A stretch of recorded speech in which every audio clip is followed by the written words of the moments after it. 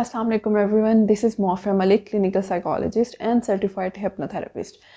आज हम बात करने वाले हैं ग्रेटिट्यूड के बारे में शुक्र गुजारी के बारे में। ग्रेटिट्यूड क्या है? किस तरह इसको हम अपनी लाइफ में इम्प्लीमेंट करके अपनी लाइफ को मज़ीद बेहतर और ग्रूम कर सकते हैं और अपनी ज़िंदगी को अच्छे तरीके से गुजार सकते हैं। ग्रेटिट्यूड का बेसिकली मतलब बहुत से लोग ये समझते हैं कि एटीट्यूड है, लेकिन नहीं। ग्रेटिट्यूड एटीट्यूड का नाम नहीं है, बल्कि ये एक इमोशन है, ये एक मोटिवेशन है। ये आपके इनर कोर वैल्यूज़ हैं जो आपको ज़िंदगी गुजारने के तरीके बताती हैं। ये बेसिकली हमारे अंदर बिहेवियर्स पर्सनालिटी ट्रेट्स बन चुके हुए हैं, जिसको हम नाम देते हैं।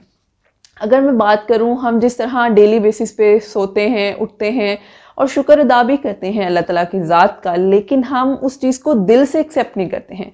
ज़ुबान से कहना और दिल से कबूल करना बहुत ज़्यादा डिफरेंस है। तो ग्रेटिट्यूड का बेसिकली मतलब ही है कबूल करना एक्सेप्टेंस अगर हम एक्सेप्टेंस के एलिमेंट को अपनी लाइफ में डाल लें, अपनी लाइफ में एंटर कर लें इंग्रेडिएंट समझ के तो हमारी लाइफ बहुत अच्छे तरीके से गुजर सकती है।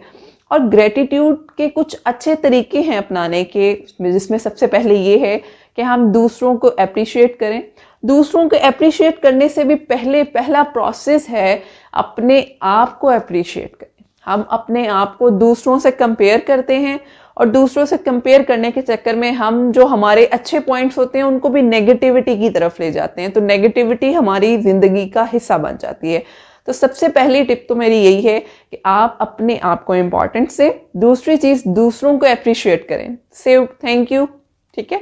जब आप किसी एक छोटी सी चीज़ पे, कोई एक्टिविटी पे किसी दूसरे को थैंक यू करते हैं अप्रिशिएट करते हैं तो ये ग्रेटिट्यूड बहुत आपकी लाइफ में पॉजिटिविटी लेकर आता है। ये एक एनर्जी बूस्टर है जो आपकी ज़िंदगी से नेगेटिविटी को दूर करके पॉजिटिविटी को लेकर आता है।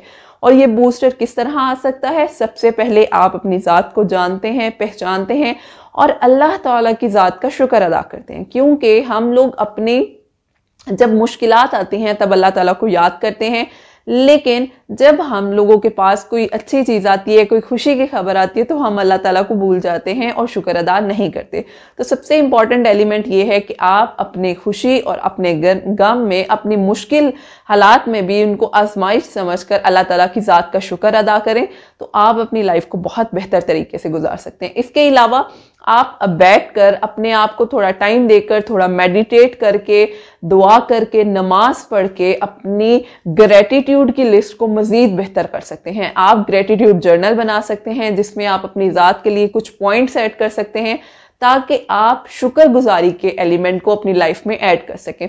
एक बहुत अच्छी कोट किसी ने कही थी कि आप अपने पास्ट को रिवाइव करें, देखें। उसको देखकर अपने आज को बेहतर बनाएँ और अपनी फ्यूचर की विजन को क्लियर करें कि अपने पास्ट को देखते हुए, अपने आज को अच्छा करें, अपने आज को सुकून में लेकर आए और अपने फ्यूचर को मज़ीद बेहतर करने के लिए स्ट्रेटजीज इंप्लीमेंट करें। और ये बहुत इंपॉर्टेंट एलिमेंट है। मैं उम्मीद करती हूँ आप लोगों ने इससे कुछ ना कुछ सीखा होगा। आप लोग भी हमारे साथ कमेंट सेक्शन में शेयर करें कि आप लोग किस तरह ग्रेटिट्यूड को अपनी लाइफ में इंप्लीमेंट करते हैं, किस तरह शुक्र गुजारी का जो तरीकाकार है आपकी लाइफ में वो किस तरह है, ताकि आप लोगों के कमेंट से हम लोग भी सीख सकें।